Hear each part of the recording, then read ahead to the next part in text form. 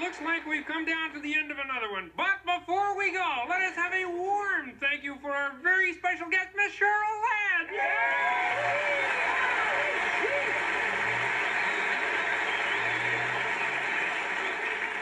You know, Kermit, I just wanted to tell you thank you. I have had so much fun working with the Muppets. I want to thank each one of you, starting from the top. Oh no! That means I'm last! Hey, don't be such a baby. Grow up. I'm trying! Trying! Okay, we'll, we'll see you next time on The Muppet Show.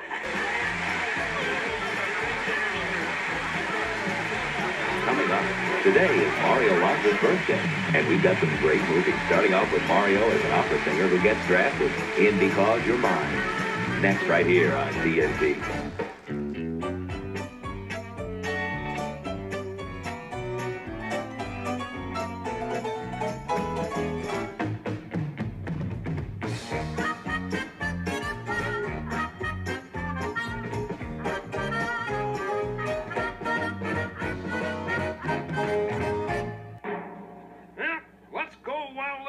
Good.